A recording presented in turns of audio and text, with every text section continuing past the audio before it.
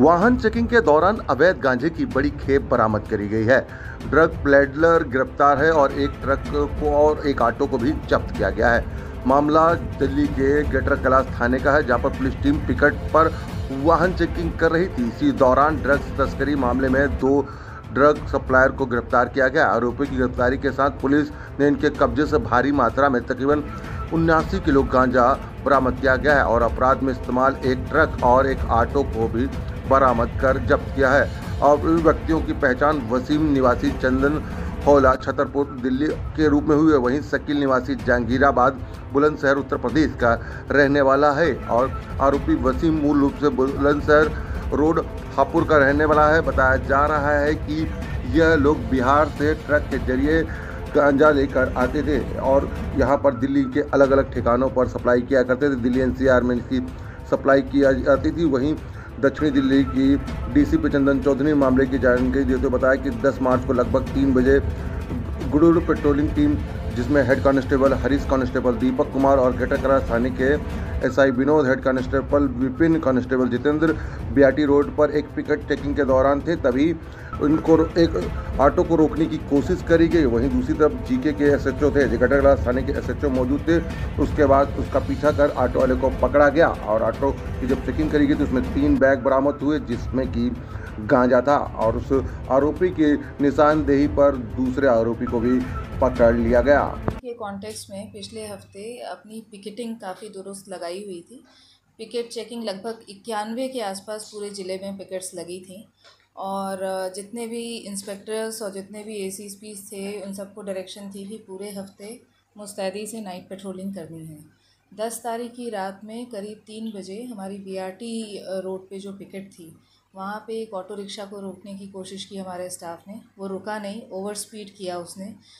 Opposite लेन में S H O जी के की उसी समय को इंसिडेंटली गाड़ी थी, ये अपने टीम के साथ पेट्रोलिंग पे थे। इन्होंने जब ओवर स्पीडिंग देखा तो तुरंत गरुड़ा को आगाह किया।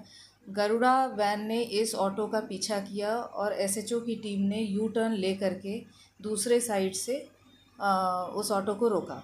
जब ऑटो को रोका तो ऑटो का ड्राइवर ऑटो रोक करके उतर के बीआरटी के साथ में जो जंगल है उसमें भाग गया। हमारी टीम ने उसको लिटरली चेज़ करके जंगल से निकाला और जब उससे पूछ पूछताछ की गई तो उसने कहा कि वो रेलवे स्टेशन से आ रहा है। टीएसआर में चार बैग्स थे। तो उसने शुरू में तो गुमराह करने की कोशिश की कि इन बैग्स में उसके कपड़े हैं और घरेलू सामान है। इसको जब पुलिस पिकेट पे ले जा कर के चेक कराया गया तो उसमें कपड़े नहीं थे, बल्कि अंदर पुलिंदे थे, पुलिंदों में गांजा था।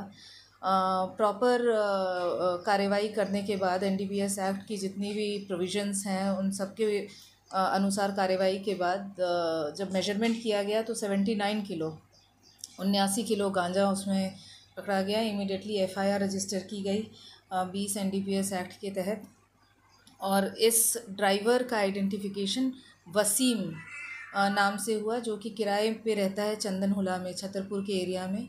ओरिजिनली ये बुलंदशहर का रहने वाला है और इससे डिटेल इंटरोगेशन करने के बाद इसने बताया कि लाल कुआँ के पास से इसने डिलीवरी ली थी। तो सब्सिक्वेंटली हमने जो है पूरी ट्रेल को इस्टेब्लिश करने की कोशिश की। लाल कुआँ पे इसने जिससे लिया था, जिस ट्रक से लिया था, उसके पास नंबर था। उसको नाम नहीं था, पता था उस शख्स का।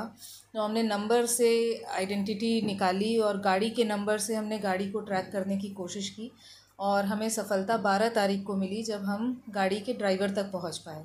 गाड़ी का ड्राइवर शकील नाम का एक शख्स है जो बुलंदशहर का ही रहने वाला है। और ट्रेलर्स और ट्रक्स चलाने का काम करता है। ये दिल्ली से बुलंदशहर, गाज़ियाबाद, यूपी से सामान लेकर के, दिल्ली से भी सामान लेकर के आसाम जाता है। आसाम से वाया कूच बिहार वापस ये बुलंदशहर की तरफ़ जाता है। तो इसने बेसिकली इस कूच बिहार में ये माल की सप्लाई लाई लेता था। वहाँ पर लेने के बाद दिल्ली में वसीम को सप्लाई करता था और वसीम इसको फ़र्दर सप्लाई किया। करता था। तो हमने इस चेन में दो लोगों को तो अप्रीहेंड कर लिया है शकील को अप्रीहेंड किया वसीम को अप्रीहेंड किया। कूच बिहार में ये बबलू नाम के एक शख्स से इसकी सप्लाई लिया करता है। अभी हम उस पर काम कर रहे हैं मैम गांजा क्या बिहार से इस टीम में हमारे गरुड़ा का स्टाफ था।